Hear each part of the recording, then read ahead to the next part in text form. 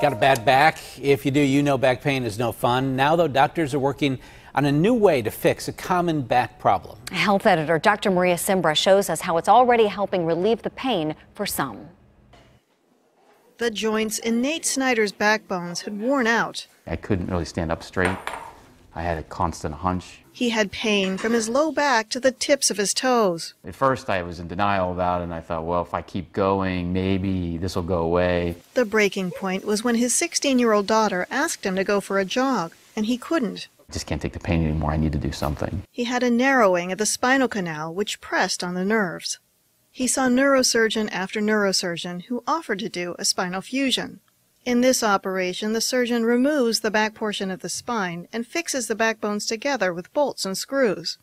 But this can increase the stress above and below the fusion, leading to more surgery down the line. I'm 44 years old. I'm not an old guy, and I have, I have an eight-year-old son, and I want to still be active. I didn't want to lose that range of motion. Ideally, what we would like to do in the spine is similar to what has been done in the other joints, the knees and the hips, where you actually put motion segments back in place. What the doctors have come up with is a joint replacement for a spine, a challenge with its comparatively small size. And you can see it has a little shock absorber in it, and that lets you have motion in there so that you can bend forward and backward. So it's really good for people who are young and active who would normally need a fusion, but this is a good way to maintain motion. But it's not FDA approved yet. It is in study for people with spinal canal narrowing with back pain problems at only one level, and a relatively healthy disc in between the backbones.